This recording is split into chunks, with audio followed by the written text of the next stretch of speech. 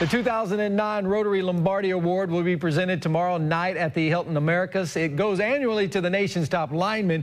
We caught up with the four finalists today over at the Cuney Homes YMCA, helping some area youngsters through some football drills.